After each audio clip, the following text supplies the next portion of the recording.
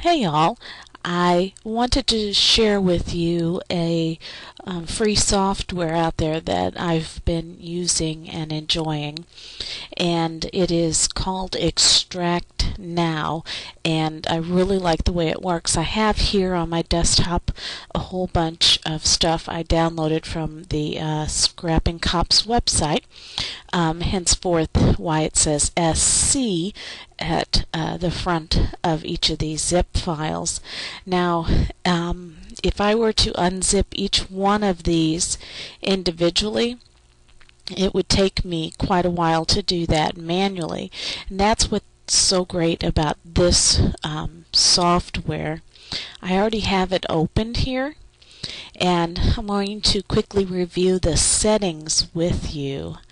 Um, you can have it um, always show on top, so you can see now it's on top of my other files.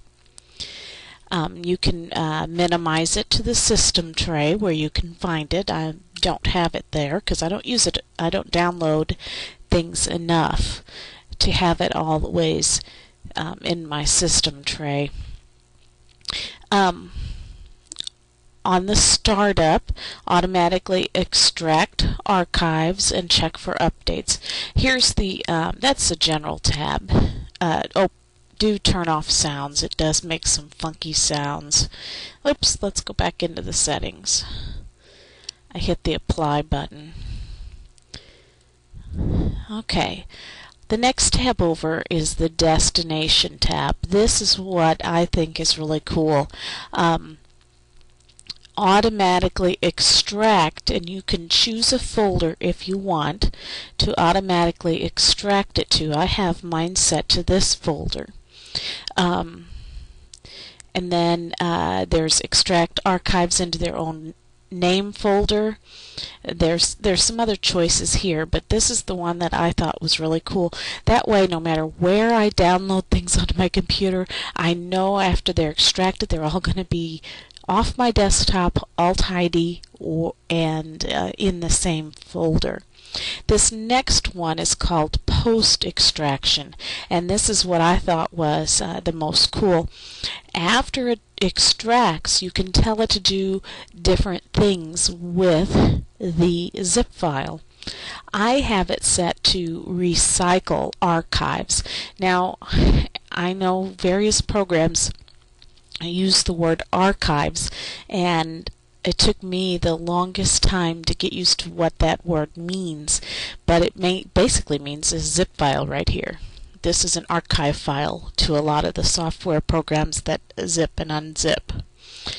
And um, so I have it set to recycle, which means after it unzips, it's going to go into the recycling bin. And then I can go to this folder, check to make sure it unzipped okay, and if it didn't unzip okay, I can go restore it from the recycling bin. If I would choose delete instead, um, it would just delete it permanently and then I would not have any chance to restore it. But I love this because then it just immediately comes right off my desktop. Wham! You're going to get to watch it work here in um, just a moment. You can um, choose to have it open the destination folder when you're done. Uh, you close the program.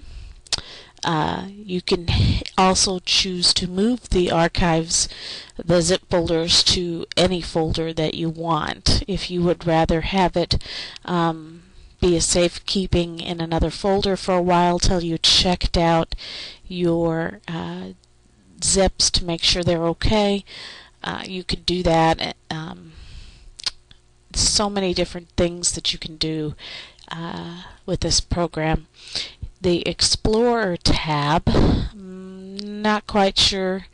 Uh, I think what this does is when you right click on one of these zip files, you're going to see that it has these things right here at the top.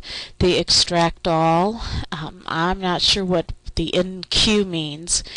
The extract here though, that I like because I have mine set up to extract it and send it to that folder. However, I can override this simply by telling it to extract here with this right clicking feature and it would extract it right here onto my desktop or you know whatever folder um, you want it to be extracted to. Here is um, sending it to a specific folder if you wanted to do that. So it kind of uh, overrides uh, the uh, bulk features. Um, don't really know what this one is, so I'm actually going to get rid of it. You could associate this with one of the file types if you wanted to.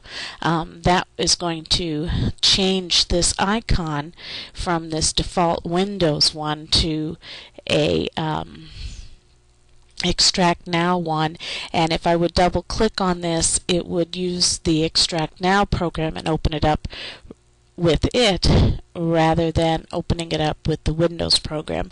I prefer to keep mine associated um, with the Windows uh, because it I've had problems with other software in the past, so I'm just going to kind of leave it at that. I like to leave it uh, right where it is. And then here is some options. Um, when dragging and dropping files, all archives will be searched for except if they match the below. So if you wanted to put some exceptions in there, you could.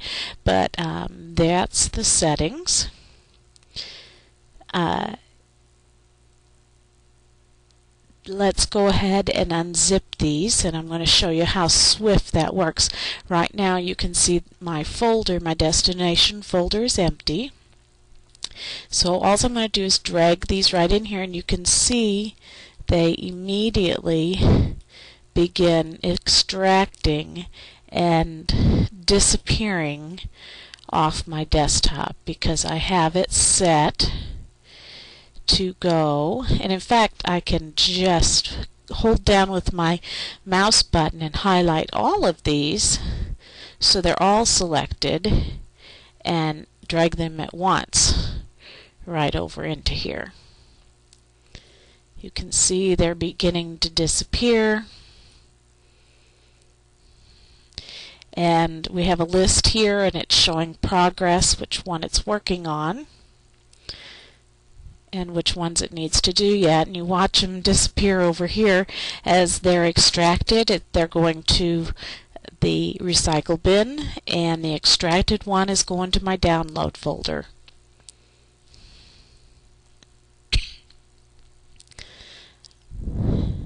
Those over there disappeared. I still have to get rid of these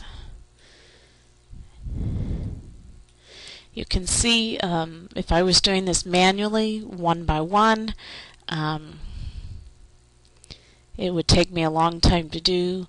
This is so cool, so quick. Done. Now if I open up this download fo folder where I had it set for destination, there they all are. And uh, perfectly extracted and over here we are left with a list.